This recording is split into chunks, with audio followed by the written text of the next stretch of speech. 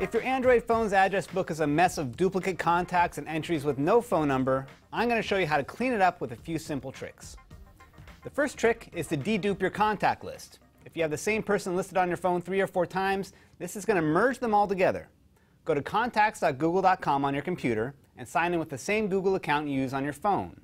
You should see your phone's contacts over on the left under My Contacts.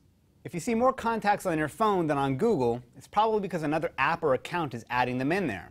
We'll get to that later, but for now, just hit the More button in Google Contacts and select Find and Merge Duplicates. Google will show you a list of all your duplicate contacts, which you can merge with one click or expand to evaluate more carefully. You can also manually merge contacts by checking the box by the names and selecting Merge Contacts from the More menu. That same menu can be used to individually delete any contacts without names or numbers that are just junking up your list. Once you've made those changes, go back to your phone, manually refresh the account under Settings, and you should see a cleaner, happier contact list. But we can still do better.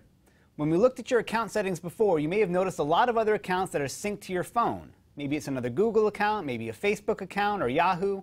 All of them could be contributing to the clutter. To relieve some of the pain, let's dive into the settings of your Contacts app.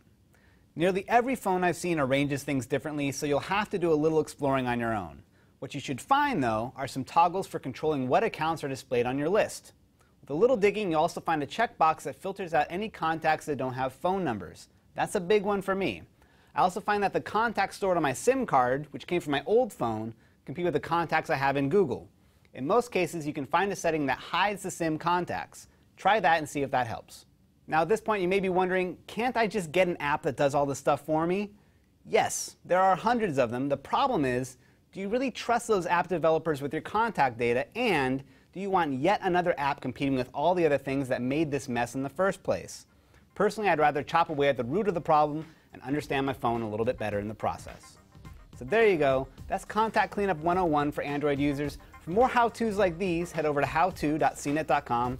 I'm Donald Bell. Thanks for watching.